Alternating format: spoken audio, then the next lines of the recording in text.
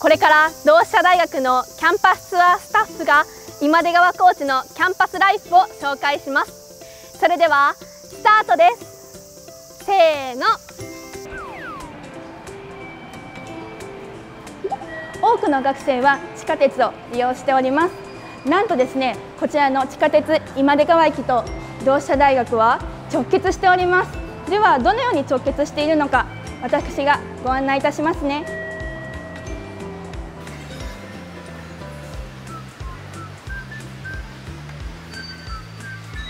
はいこのように直結しております。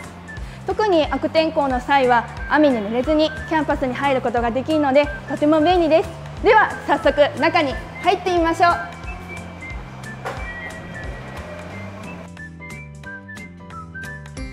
う。コンビニがあります。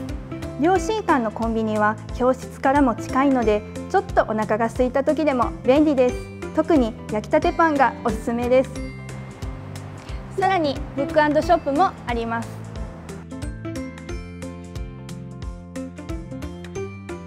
同志社オリジナルグッズもございます。お土産にぜひどうぞ。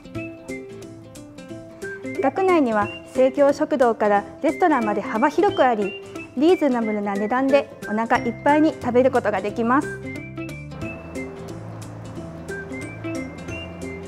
では次教室に行ってみましょう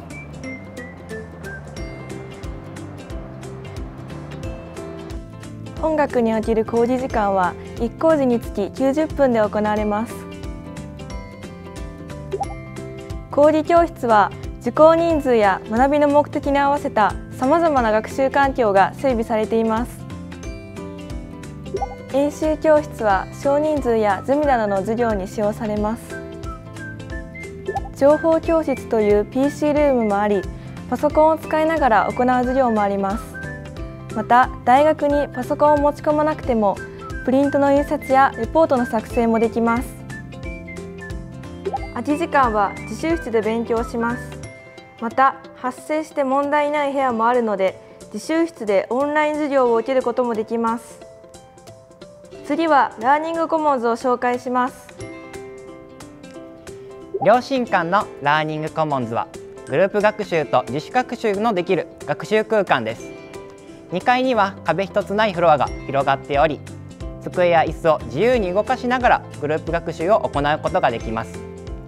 3階には PC コーナーやアカデミックサポートエリアというような学習相談に乗っていただけるようなエリアが広がっており自主学習を進めることができます。こちらが今出川図書館です。授業の合間や授業後に利用することも多いです。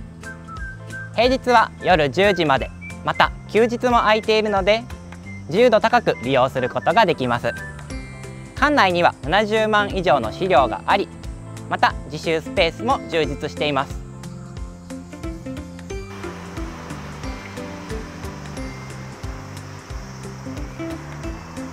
今出川キャンパスの中には生協食堂の他にもおしゃれなレストランがあります。それがこちら。Hamac de Paradis 寒梅館さんです。 Hamac de Paradis 寒梅館さんは今出川キャンパス寒梅館1階の中に内設されたおしゃれでお手頃な価格でイタリアンやデザートを楽しむことができるレストランです。店内はとてもおしゃれでスタイリッシュな空間なので落ち着いて食事を楽しむことができます。おすすめはこちら Hamac 特製デザートパフェです。ボリューミーなのにお手頃で学生大満足の内容になっておりとても美味しいです。同志社大学の周りにはたくさんの飲食店があり学外でご飯を食べる方もたくさんいらっしゃいます。そこで私のお気に入りのお店を紹介させていただきます。私がご紹介するお気に入りのお店は初代麺屋芥川です。同志社大学今出川キャンパスのほど近くに店舗を構えるこちらのお店は同志社大生に大人気のラーメン屋でいつも行列が絶えません。こんにちは。こんにちはこんにちははいはい初代麺屋芥川の店長さんはこうして私たち同志社大学生の来店をいつも心待ちにしてくださっています。授業が終わり夕方からクラブやサークル活動が始まります。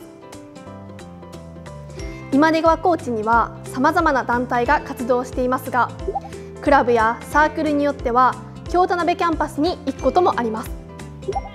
本学では今出川京田辺の両校地で約300のクラブやサークルが活動しています。